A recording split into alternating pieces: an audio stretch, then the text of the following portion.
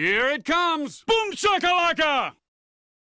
30 recordes de volta. Um pouco antes da temporada atual começar, eu fiz três vídeos de 30 recordes sobre as três últimas décadas, década de 90, década de 2000 e a década de 2010, que acabou de se encerrar. Foram meus últimos três vídeos de 30 recordes e para o vídeo de hoje eu peguei uma sugestão de um comentário de vocês de muito tempo atrás, realmente muito tempo. Há mais de dois anos, o Lucas Silva escreveu um comentário pedindo vídeo com os recordes entre os brasileiros na NBA. Eu respondi, boa ideia, anotei aqui. E viram como eu anoto mesmo?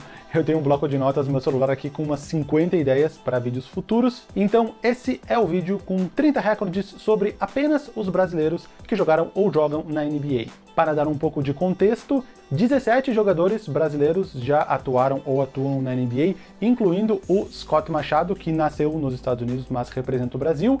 E eu já tenho um vídeo, na verdade dois vídeos, porque é um vídeo dividido em duas partes aqui no Buncha Calaca, mostrando todos esses 17 brasileiros da NBA. Vou deixar o link da parte 1 aqui em cima no card, se vocês não assistiram, vale a pena dar uma conferida. Então todos os 30 recordes que vocês vão ver a partir de agora são disputados entre esses 17 jogadores brasileiros.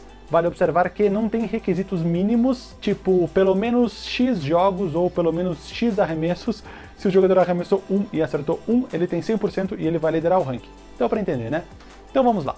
Mais jogos. Nenê é o líder com 965, o segundo é Leandrinho Barbosa com 850, depois Anderson Varejão, Thiago Splitter e Raulzinho Raul Neto. É importante já começar com esse recorde de mais jogos, porque vários dos recordes que vocês vão ver daqui pra frente são de números acumulados, obviamente quem jogou mais vezes tem mais vantagem mais pontos. Corroborando o que eu falei, o top 5 de pontos é o mesmo top 5 da quantidade de jogos.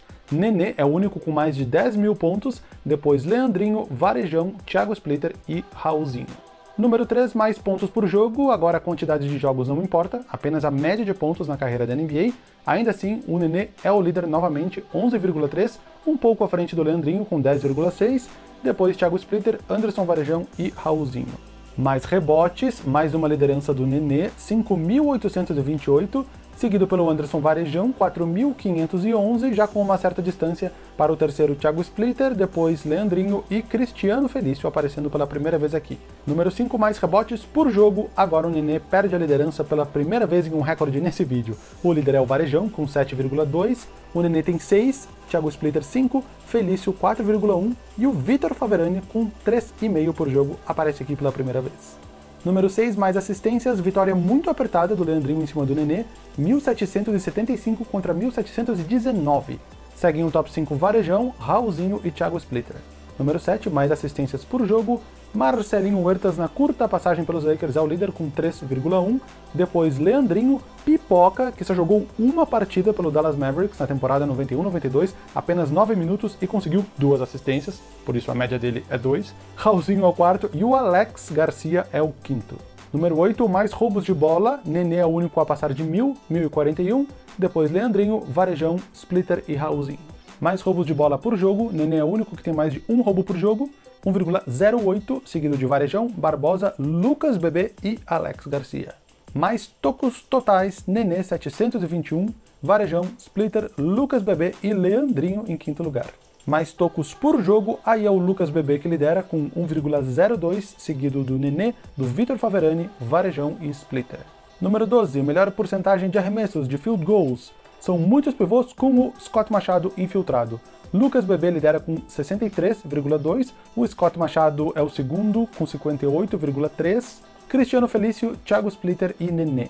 Mais cestas de 3 pontos, disparado Leandrinho Barbosa 988, o segundo é o Raulzinho com 141, aí Bruno Caboclo, Marcelinho Huertas e o Vitor Faverani com apenas 12 entra no quinto lugar.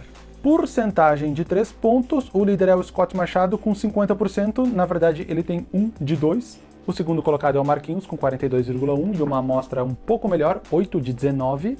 O terceiro é o Leandrinho, depois Raulzinho e Bruno Caboclo. Número 15, mais lances livres. É quase igual ao ranking de jogos. Nenê, Leandrinho, Varejão, Splitter muda o quinto lugar com o Felício tomando o lugar do Raulzinho.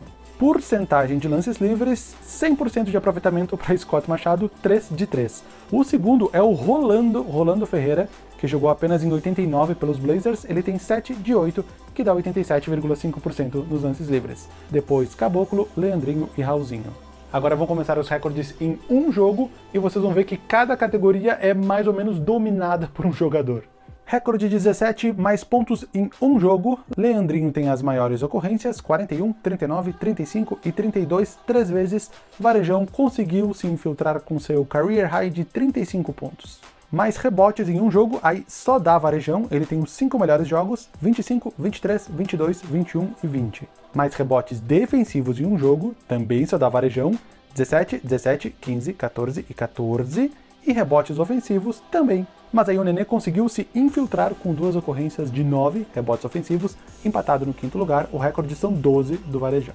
Mais assistências em um jogo, Leandrinho tem as quatro melhores ocorrências, com o Huertas beliscando um empate na quarta colocação, com 10, foi num jogo contra o Rockets, o único que ele começou de titular na carreira e eu estava assistindo. Roubos de bola em um jogo, Nenê duas vezes e Leandrinho duas vezes conseguiram 6, com 5, o Nenê 10 vezes, Leandrinho 3 vezes, Varejão 2 vezes e o Huertas uma vez nesse mesmo jogo contra Houston. Mais tocos em um jogo, o recorde é do Vitor Faverani com 6. Com 5 temos Lucas Nogueira duas vezes, Nenê e Anderson Varejão.